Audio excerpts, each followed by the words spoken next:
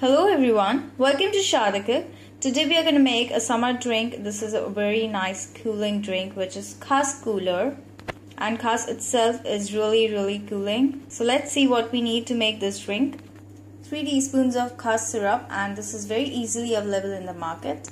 2 teaspoons of basil seeds or sabza seeds or falooda seeds and again this is really cooling 1 teaspoon of lemon juice half teaspoon of ginger juice sprite and black salt to taste. So we'll start. Firstly we're going to start with the basil seeds at the bottom.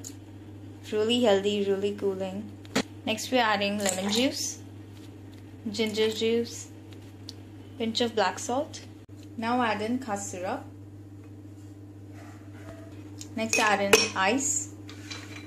Top it with some finely chopped fruits. We have the apple, pear and pomegranate. It gives a nice chunk in the drink. And lastly top it with the Sprite. You can also use soda but then add in sugar syrup. Give it a stir. So your Khas cooler is ready.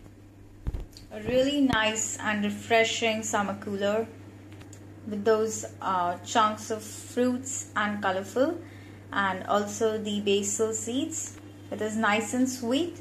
So do try it. And if you like this video do thumbs up and subscribe. Thank you so much for watching. Bye bye